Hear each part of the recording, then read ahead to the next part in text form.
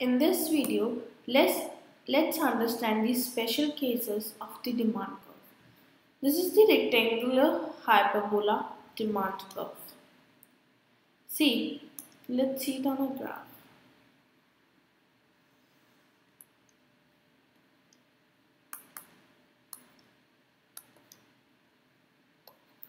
Quantity, price.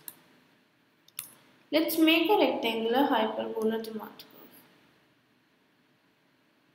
This is this way.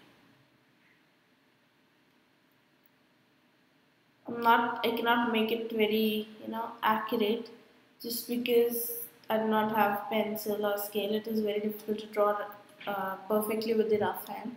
So please draw, draw perfectly. DD.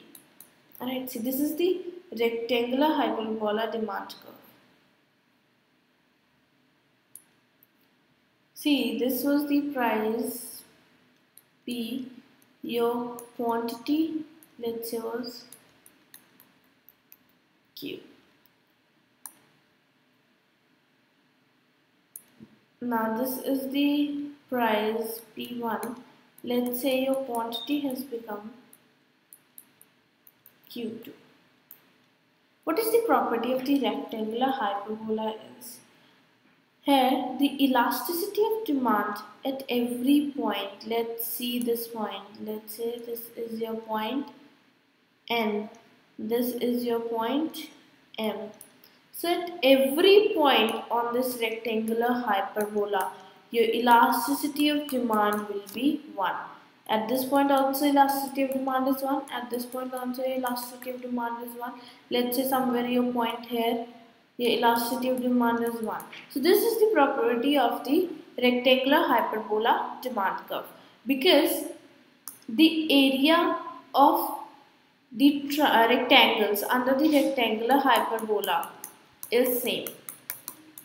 That is the area of rectangle let's say uh, this is P N Q O P N QO is equal to area of. The second rectangle, which one is formed is P1MQ2O. This is P1MQ2O. Right? So the area under this rectangular hyperbola of other uh, rectangles is same. So when you take percentage change in quantity demanded to percentage change in price that the area is same one by one let's say so your elasticity of demand is same. So elasticity of demand happens to be equal to unitary at all points of the demand curve when demand curve is rectangular hyper, hyperbola. By this rectangular hyperbola is a curve under which all the rectangular areas are equal.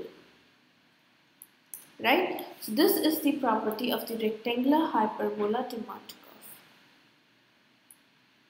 See now understand flatter demand curve. See a price was P1. Okay. The price now has reduced to P2. So we've got one quantity as Q1 and the second quantity is Q2. So we have uh, drawn two demand curves. Let's say D1 and this was a at price P. This was let's say this was our initial quantity Q1 Q right. So price P1 this was our initial quantity. It has reduced to price P2. So the quantity in demand 1 D1 curve has gone from Q to Q1. In D2, it has gone from Q to Q2.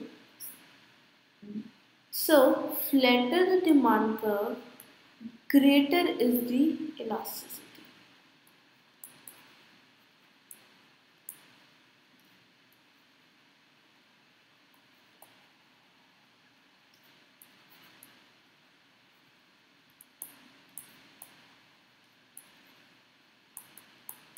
Let's see from the example. Percentage change in quantity demanded farming percentage change in price. This is how you calculate your elasticity of demand, right? See, percentage change in quantity demanded in D1 demand curve, right? That's that is less. Let's say it's 10 and your change in price let's say it's 5 so you have the elasticity of demand is equal to 2 in your D2 this was in the case of D1 in your D2 demand curve what, what is happening?